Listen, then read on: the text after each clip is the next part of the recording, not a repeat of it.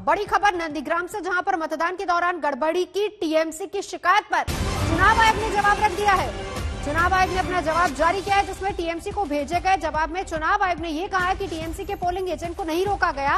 ये भी कहा गया कि टीएमसी समर्थकों को रोकने की बात गलत है। वोटिंग के दौरान किसी को कोई बाधा नहीं पहुंचाई गई। चुनाव आयोग ने पूरी टाइमलाइन के साथ ब्यौरा भेजा है। कहा है कि सुरक्षा बलों ने किसी को न तो डराया और न ही धमकाया। सुरक्षा बलों पर आरोप लगे थे, चुनाव आयोग ने सीधा जवाब रख दिया है पूरी टाइमलाइन के साथ। एक एक चीज़ का पूरा ब्यौरा दिया गया है, टीएमसी की शिकायत पर चुनाव आयोग ने अपना जवाब रखा है, जिसमें यह कहा गया है कि किसी भी समर्थक को डराया, धमकाया नहीं गया है। नंदीग्राम में वोटिंग के दौरान बाधा नहीं डाली गई। ये बात चुनाव आयोग ने अपने जवाब में कही है। ममता की चिट्ठी पर इलेक्शन कमीशन ने अपना जवाब रखा है।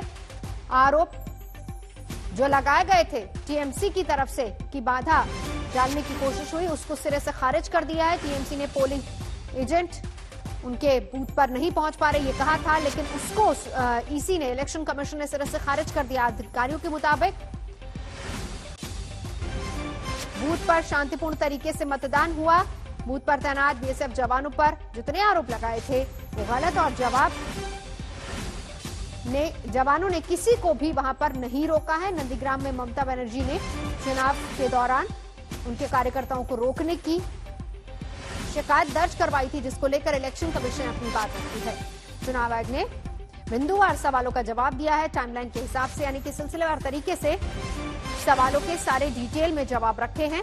अधिकारियों के मुताबिक बूथ पर सही तरीके से काम हो रहा था, बूथ पर शांतिपूर्ण तरीके से मतदान भी चला।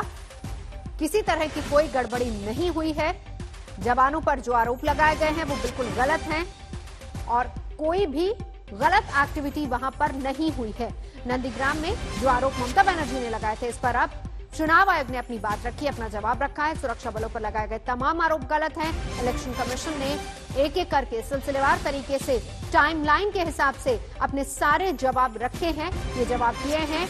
और टीएमसी की शिकायत पर चुनाव आयोग का अब ये बयान सामने आया है।